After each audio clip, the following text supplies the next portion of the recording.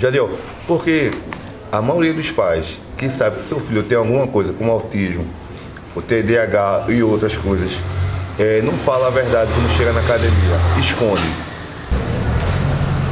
Amigo, né? Tá lá. Trava de uma primeiro, trava de uma, lá pra trás. Não, não travou nada. Se pessoa tem que travar dela. Passou aqui dois centímetros no máximo, aqui, ó. Também deu ponto. Se não souber qual é, só entregar pra uma outra. Viu? ele tem, ele vem apresentando alguns comportamentos, tá? É, neuroatípicos, tá certo? Aí que comportamentos são esses? Por exemplo, de jiu-jitsu, o mestre de, do que é de Muay Thai e Kung Fu, tá certo? E umas defesas pessoais que eu comecei a fazer, tá certo? Que foi, amigo? Ficasse assim, vai apagar tudo. Apaga tudo. E aí, pessoal, tudo bem com vocês? Eu sou o Mestre Renato. No vídeo de hoje, vamos apresentar o segundo vídeo, tá certo? Da parte defesa pessoal com educação especial. Hoje, nesse vídeo, temos um restinho do curso com o mestre Mauro Cabral e o restante todo com o professor Jadiel, né? Falando sobre educação especial.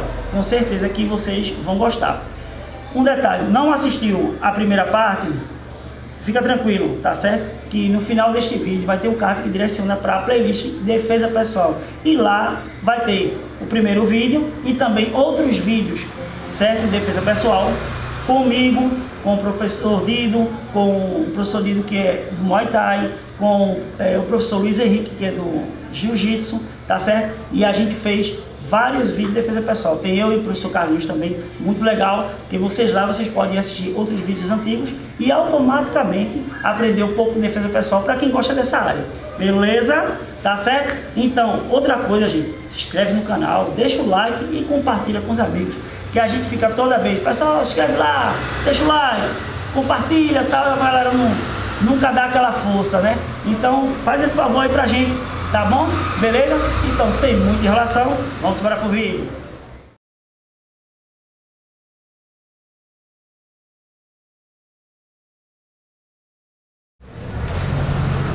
Cuidado, meu amigo, né? Uou! Tá cuidado, vai lá. Trava lá de uma primeiro, trava lá de uma, fica lá pra trás. Não, não travou nada. Se pessoa tem que travar a mão dela. Ele vai pegar aqui na minha mão. A velha pegada, polegada dentro do meio dele. Ó, polegada dentro do meio dele. Tô tirando minha mão, puxando, barriga no chão. Barriga no chão. Estica mesmo ele. Aqui, ó, no limite, no omoplata da sua barriga. O que você quer? Se você quiser. Você faz isso. Tá. Bate bola. Bota aqui. Aí bota dos algemas, vai fazendo um montadinho, pega os caranguejos, tá lá, a cor de caranguejo pronto. Agora eu quero dar lascada aí. Aí, É. ó, Beto. Vamos lá, ó, bem lento, ó. Polegado dentro do meio dele. Lembra que tem que ter a minha base, ó, polegado dentro do meio dele. A pegada é parecidíssima com essa treinando pouco distante. A mão de baixo vai conduzir. Pra eu tirar. Se quer gravar, tem que vir aqui pro fundo, ó. Pegar bem a câmera. Tá pegando aí? Ó, polegar, polegar. Pra cima, pra baixo. Se eu flexionar, flexiona, é a saída dele. Como não quero, ó, ó minha perna de trás, a direita para trás, ó. Que vá pro chão. E você puxa mesmo a ele pro chão. No limite aqui, ó, ou barriga ou peito, dependendo do seu tronco. No limite da omoplata dele aqui, você quebra. Puta livre. Aí acabou. Aí acabou um. Aí estoura tudo. É pouco mais. Aí mesma dupla, vamos lá. Lembra aquele negócio do espelhar? Fez mais cedo, ó. Tô espelhando. Bom aqui. Polegar virado para o lado contrário dele. Esse aqui é o meu direito, é o esquerdo dele, ó. Peguei aqui embaixo. Já tirei.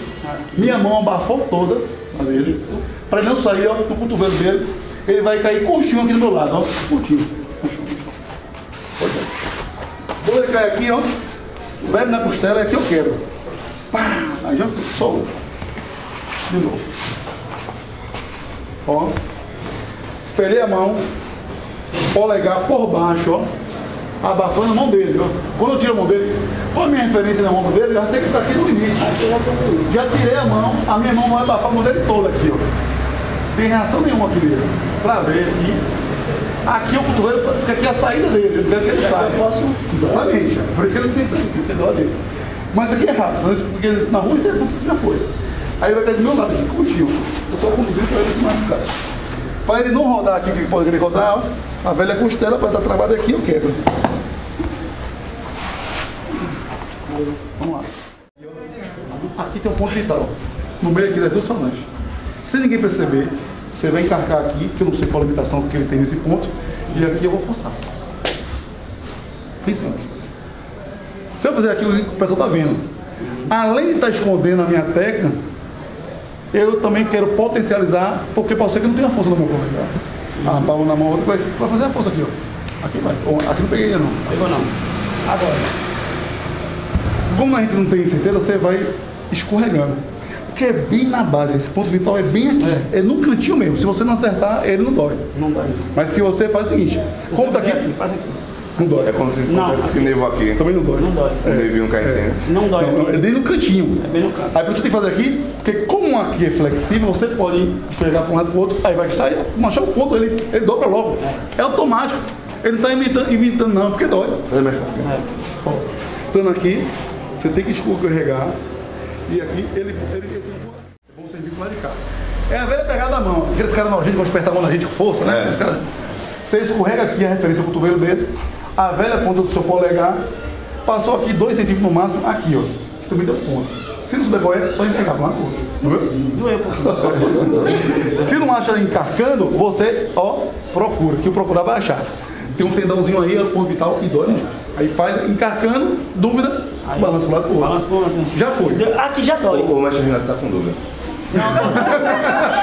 Tá com dúvida. Não, não, é aqui, ó. Dou aqui, ó. E é pertinho, subiu o polegar. Vem aqui, vamos fazer. Vai fazer aqui. Bom que ele sequinho que o meu dedo vai parar aqui, vai tirar sangue do outro lado. Ó, o polegar aqui, sobe 2, 3 centímetros. O ideal é encarcar. Quem não sabe se está doendo, está encarcando, faz isso. Tá vendo não? Acho que não. Tô falando que ele vem da cada pessoa. Não. Vai de cada pessoa. É, é. Ó, o dele é pra ser aqui. Por que eu sei que tá aqui? Tá aqui a articulação dele, mas cada um tem um limite. Tem gente que não vai sentir ver. Aí, ó. Ih, cara, ah, O meu aqui já tá doendo aqui, ó. Eu vou devagarzinho, porque esse aqui desse, a gente tem medo de machucar o outro. É. Mas é. Mas vai ser a mulher, o seu homem. Aí tá aquela dança romântica e tudo mais. Essa técnica tem que ter duas precisões. Um é o ponto vital e o outro é ele não sair. Porque a tendência, como o outro está encarcando o dedo, ele é virar a cabeça e querer sair da dor. Certo? Não importa se é esse lado, isso é você também faz jiu-jitsu, vai pôr no chão. Digamos ser esse lado. Eu vou escolher o lado de cá. Aí você tem que vir para o lado de cá, todo mundo. Essa mão aqui, teoricamente, estaria alisando a carequinha dele. Mas eu vou escorregar para travar minha mão para aqui. Esse meu polegar vai arrastar aqui, ó. Na base aqui da orelha dele. Aqui tem outro ponto vital. Assim? Não fiz nada, não. E aqui vou encaixar o dente. E a mão aqui não sai para nada. Pelo contrário, ela vai vir contra o meu polegar. Aqui ao mesmo tempo. Ele pode procurar a ousadia que for, mas ele na hora, além de doer, ele vai querer se picar daqui. E aqui você está travado, porque aqui é a sua defesa. Porque ele não vai conseguir bater em você, todo mundo. Por mais que ele esteja da joelhada, no máximo ser um tostão, mas é um tostão, mas pela reação da mulher, porque está fazendo isso, ele vai querer sair daqui. E a ideia é que trave. Porque você dá muita força que vai doer até o vidro, o cérebro vai estourar tudo. Isso aqui né, já dói. Dói tudo. Dói tudo. dói. Vamos lá?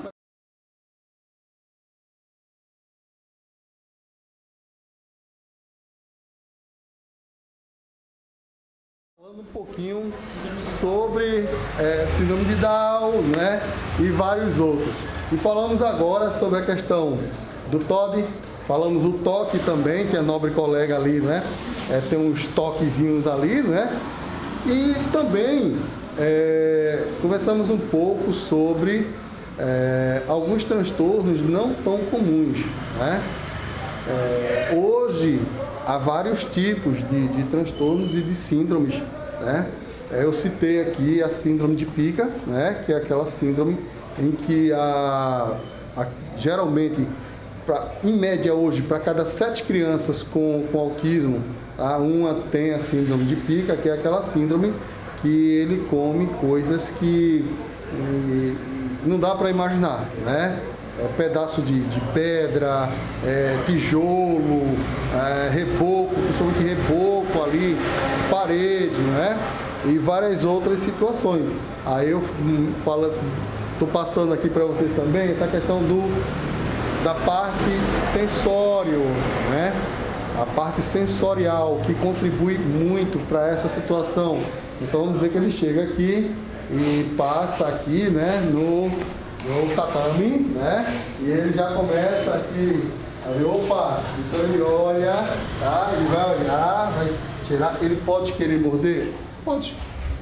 Pode querer morder, pode querer comer, tá? Isso aí. Cheirar Cheira, cheirar também, tá? Dependendo da, daquela situação ali, é algo que é, é, é, é muito forte na, na pessoa com terra. Tá? Então, ter essa situação. Então, são situações em que a gente tem que tirar o foco o mais rápido possível, tá certo? Quando a gente perceber uma atitude dessas, então a gente tem que ir em cima do desejo dessa criança, do desejo desse jovem. Ah, como eu citei aqui, tem desejo de Sonic, tem um desejo de Dragon Ball Z e outros.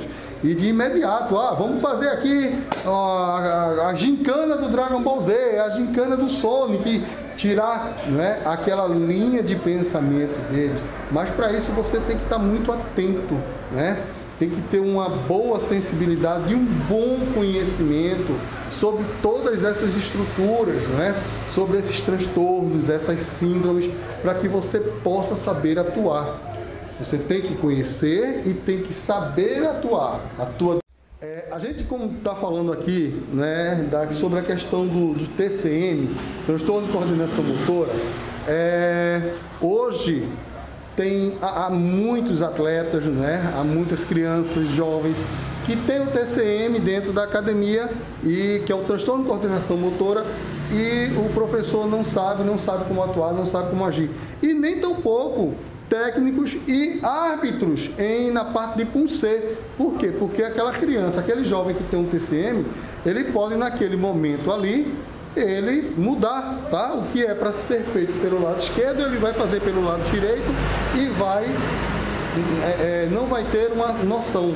Então, como é que a gente faz na academia? Condiciona. É o único trabalho que tem que ser feito para que a gente melhore essa condição. É condicionar. Como é que a gente pode condicionar? Pode ser através das fitas. Colocar uma fita esquerda, uma fita vermelha aqui no lado esquerdo, tá? Uma fita azul no lado, no lado direito. E a gente, quando for dar o comando, tá? Sempre ir pelas cores. Lembrando que azul, vermelho, azul, vermelho melhor, puxar outro tipo de condicionamento para aquela criança, aquele jovem, poder fazer marcação também. Se tem um azul aqui na mão e o azul está lá no chão, então é para ele ir para ali, é para ele chutar aqui, certo? Então, trabalhar essa questão de condicionamento, porque senão é, ele não vai, tá? E no momento em que ele vê e ele errou, aí a coisa vai estar, ele vai estressar, vai ter o lápis de memória, como todos aqueles que vão trabalhar, vão fazer um PUNCE, hoje há grande, um grande número de crianças e de jovens que fazem PUNCE e adulto também. Jadeu, porque a maioria dos pais que sabe que seu filho tem alguma coisa como autismo, o TDAH e outras coisas, é, não fala a verdade quando chega na academia, esconde. Olha, muitos pais, né, é, principalmente aqueles que estão em investigação, tá? Se a criança está no TEA, certo? Se não está. É, mas ele, a, a, criança externa comportamentos neuroatípicos, certo? Principalmente de investigação, eles podem omitir, não é? Para ver o que é que o professor diz, né? o mestre, ele vai e diz, aí você chega e diz, olha. Mas como é que a gente vai então, falar com o pai? Porque às vezes a gente percebe logo vamos lá, Vamos lá. Né? Quando você perceber, né? Então, chama o pai diz, pai, olha, eu tenho observado que João, dar esse nome João, ele tem, ele vem apresentando alguns comportamentos, tá? É, neuroatípicos, tá certo? Aí que comportamentos são esses? Por exemplo, ele senta e tem uma estereotipia de tronco, tá? Fica com estereotipia de tronco, ele tem sensibilidade auditiva, certo? Ele tem flipping, ele anda muito de marcha equínea aqui. Então, isso aí, é, é, eu gostaria que o senhor levasse para um profissional, tá certo? É, pode ser um, um, pediatra, um neuropediatra, tá? Para investigar, tá certo? Pode ser um psicopedagogo clínico, psicólogo, e investigasse esses comportamentos e trouxesse para mim um laudo, se for no caso de um médico, ou um parecer, para que a gente possa atendê-lo melhor, tá? Então, da maneira correta, da maneira que ele, que ele apresenta algumas especificidades, mas que ele se sinta mais confortável em estar aqui na academia.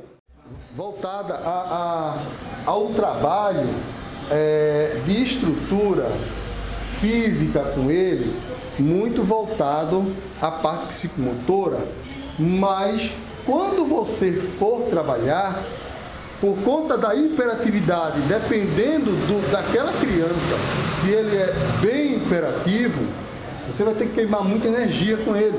Então você trabalha com circuitos? Sim. Você vai começar a trabalhar com circuitos, você vai trabalhar é, colocando, por exemplo, raquete, tá? Ah, vai chutar a raquete, vamos lá, vamos correr, vamos chutar, dá 10 chutes na raquete, 20 chutes. Então, se é para você dar 10, dá, dá 15 chutes aqui, volta para lá, aquele lá chuta 15 também. Quando você fizer esse, tiver toda essa dinâmica aí, tá certo? Opa, parou, certo? E você sentir que ele, eita, vai começar a entrar no ócio. Então o que é que você faz? Opa, João agora é o amigo da vez. Então João vai segurar a raquete. Segura, João, segura. Então ele vai segurar aquela raquete. Menino, vou chutar. Eu vou chutar. É sempre mantê-lo ali ativo, tá? Não deixa entrar no ócio. Não deixa, tá certo? Não dá intervalo assim de dar uma parada de um minuto. Ah, vamos tomar água. Geralmente quando for tomar água, coloca ele para ir primeiro, tá? Ele vai primeiro, certo? Toma água primeiro, porque no momento que ele toma água. E aí, pessoal, beleza? Gostaram do vídeo? Quer aprender como faz tudo isso? Se inscreve no canal, deixa o like e compartilha com os amigos. Aproveita para dar uma olhadinha nesses vídeos aqui, tá? Que tem um melhor do que o outro. Beleza? Fiquem com Deus e até o próximo vídeo. Te vejo lá.